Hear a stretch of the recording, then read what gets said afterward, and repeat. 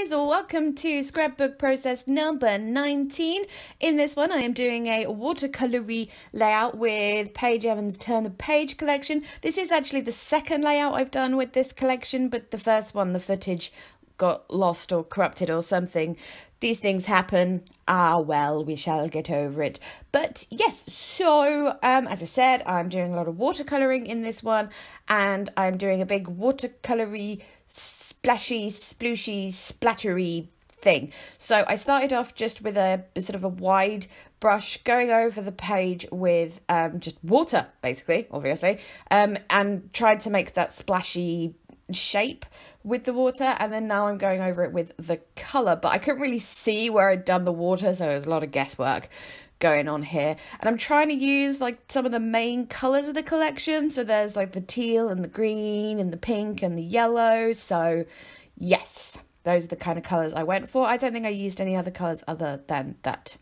I don't think. Anyway, we will find out. So, yes, I've left quite a bit of the footage of this part in because when I watch videos like this and they do something like this on their layout but then cut out like a big, big chunk of it, I'm like, no, let me see what you did. I need to see the process. So that's why I've left loads and loads of it in. Let me know if you don't want to watch it or if you do find it helpful or whatever. And yes, so that yellow I've put in looks really orange on camera.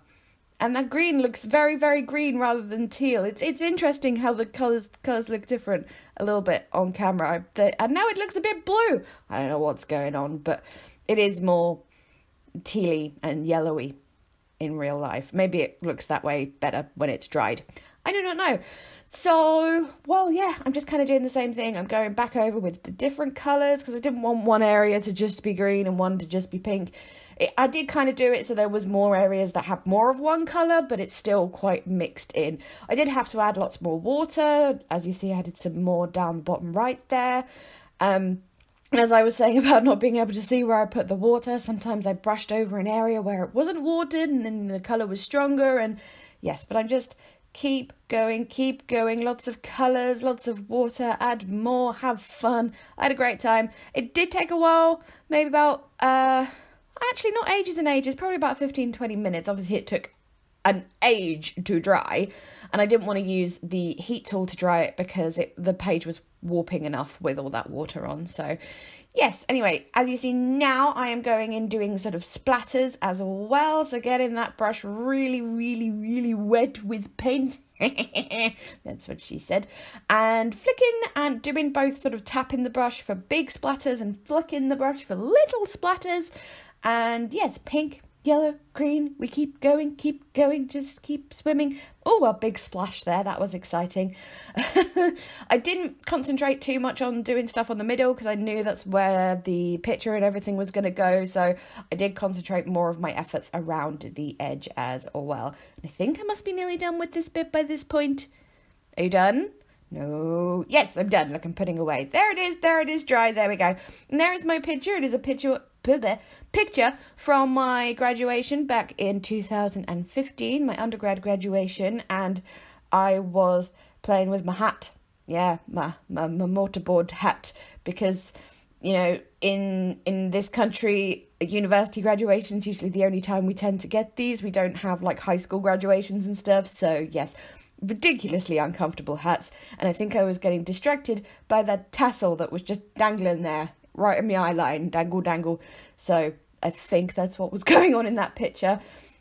And also, you see the robe is just so ill fitting on me as well. It's just slipping down. But anyway, so I'm laughing. My mum is laughing at me this is what's happening. So, moving on to what I'm doing now, that paper, all of my papers, well, nearly all of them are from the paper pad, so I can't tell you what number they are because I don't say in the paper pad. It's kind of annoying, but there's that one that has like the little phrases and stuff in that wavy pattern. And I saw someone do this. I think it was Zinnia I don't know how to spell spell pronounce her last name of abstract inspiration. I will link the channel. It's amazing. You you probably know of it anyways. But she did this thing where she kind of she ripped the paper and curled the edges to make it kind of look like a scroll and as it's graduation related i thought i would do that as well but i didn't want to rip the edges because i wanted like a nice clean edge around those words and stuff and i have smaller um, I've lost the word there. The bits that I curled at the edges, she made them quite big. I wanted them a little bit smaller, um, just because I had obviously a lot going on with that watercolor background as well. So I did three of those, and then I went back in my photo there on that quite bright paper just to help it pop from that those sort of there's lots of busyness obviously with the watercolor and with the words on that thing. So yes chose that very bright colorful paper. Also all the colors match what I did on the background. So yes and now I am going with some of the washi from the washi booklet just to fill in some of the gaps that were going to happen once I stuck my little scroll thingies down I didn't want just the watercolour to be poking through. I wanted something else to be poking through as well. So yes, that's what I did. You can see as well, or you might be able to see little pencil lines that I drew to remind me where to put each one. And it took me ages to remember that the big one was supposed to go in the middle. Such an idiot. Um, I went in with tacky glue to stick these down because I knew I might need to move them around a little bit once they were down. So I didn't want to use double-sided tape. Um, I think off camera, I did add a little bit of double sided tape to the very edges once I knew that they were in the places like exactly where I wanted them, just to be extra sure because I'm always a little bit cautious about you know wet wet glue. It may I don't completely trust it. I don't I don't know, but anyway. So yes, there we go. Just a little bit of the washi poking out around the edges, and that's where I'm going to put my picture. So and going through the ephemera pack, I always have a couple little empty trays on my desk just so I can go through stuff. And what I'm doing now is finding bits that I think will match and putting the other bits in the other other tray. And that there is a little baggie of loads of stuff that I've fussy cut from this collection. I this collection is a, a fussy cutter's dream, and it's just yes. So that's a little baggie. I haven't even fussy cut half the papers that I want to at this point, but I still have that very full baggie of things to put to use. So, yes, better get using them, really. And yes, photo down, sticker book. Oh, I saw that little so proud sticker. I thought I'd stick that on my mum because she was so proud. Bless her. Hi, mum, if you're watching. Hey. Um. So yes, couple of little flower bits. I wanted to put that big cluster up there because I didn't want to just put it around the photo the embellishments if you get me just just one little other sort of bit up the top as well just to make it a bit more interesting i do not know and then other bits sort of stuck in around the little scrolly edges and stuff like that so for the most part the rest of this video is pretty much going to be me sticking down embellishments i think there's not really much else to it um i started with the flowers put lots of those down and then, oh, good timing. I went in with the butterflies. These are the butterflies done from the gold foil paper rather than the non-foiled one, obviously. So I wanted, I put these ones in just for that extra bit of shiny, sparkly, happy foiliness. So yes, and I love butterflies on a layout. I just, I love them on any craft actually. Lots and lots of fussy cut or die cut or whatever butterflies just everywhere. It, I just, I love it so. I think I used all of those butterflies. I think, um, actually, no, I did. I'm pretty sure I did, but they're just so pretty. I can't help it. They're beautiful. So I just wanted them everywhere.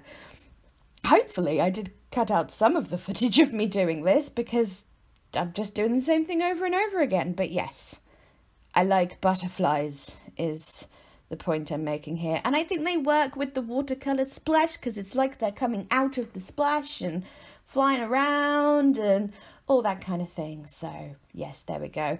Oh, couple more flowers as well, just because I thought I just thought they it was needed.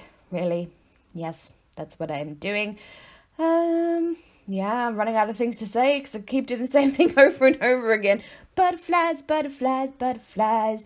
At some point I will put the title in, but apparently not yet. Hmm.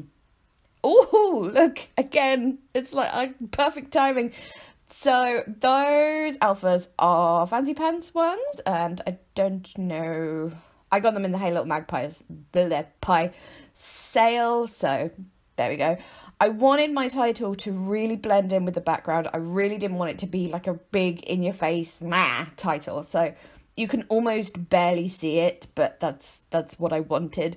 And I went with the title of Nice Hat because I can't think of anything delightful or meaningful because I'm not that kind of person and I am wearing a very nice hat, as you can see, so that's that's what the title became, even though you might argue it doesn't really match the layout. It should be something lovely and floaty and romantic and poetic, but nope, I do not do those things.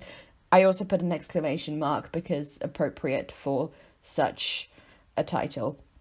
And then, oh, look, more butterflies. Oh, I decided there needed to be just a little bit of something around that top left edge of the photo. I just, yeah, it needed something. So more butterflies, and I'm fairly sure, yes, no, I'm definitely sure that I put a little um, flower, flower of clusters, flower of clusters, cluster of flowers from the ephemera pack in there as well. Oh, and I put that little good job sticker as well, because, you know, good job, me, for graduating. And where's their little flowers thing? There it is. I'm putting it in. In you go. There it is. So, yes, just added that one more thing. There we go. And I'm fairly sure I am finished. So, yes, there we go.